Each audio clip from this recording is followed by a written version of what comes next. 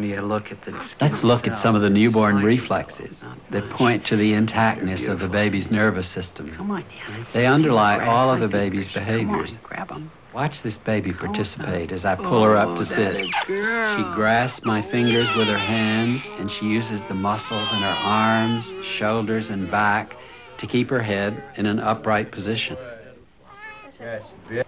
Now, I want to see if you'll walk for us. There he goes. The walk reflex is present at birth, then it goes underground and comes back as a voluntary behavior a year later. Isn't that beautiful?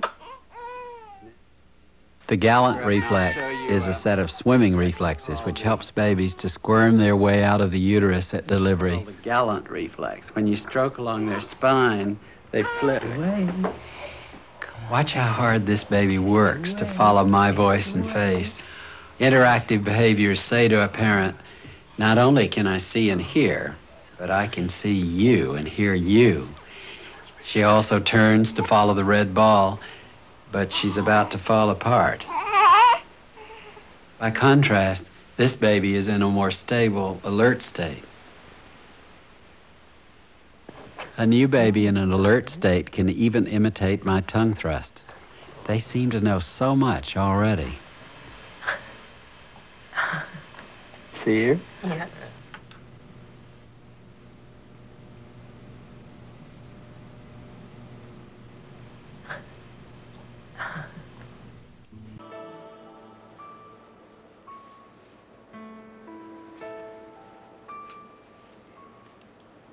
This is Merlin, a 12-day-old chimpanzee. His natural mother has abandoned him, so he's being raised by human parents. A newborn chimp is very much like a human baby. In his first weeks, Merlin responds to his adopted mother just as a child would.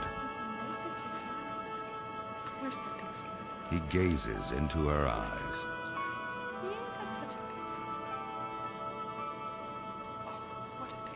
He responds to her smile. In chimp and human alike, these exchanges help to bond mother and infant.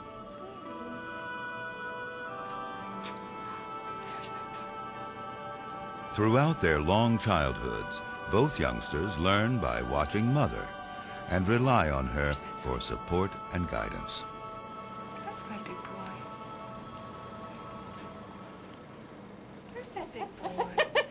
Sweetheart, there you go. That's a boy. That's a boy.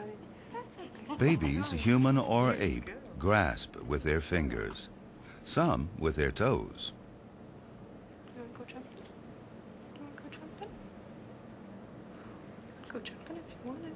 Held upright, Merlin goes through the motions of walking, just are. the way a human baby would. That's a big boy.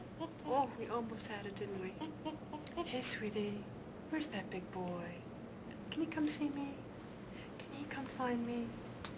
That's Lay them boy. down and both clutch at the air and often complain.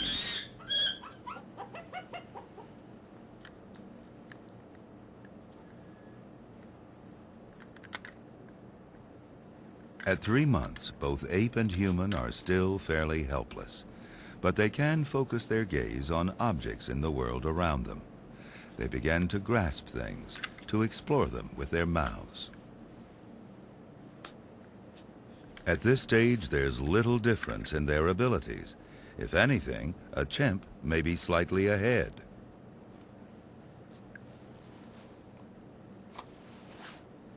At six months, both are getting stronger, more coordinated, and more curious. They're starting to explore their surroundings, though anything new still goes straight into the mouth.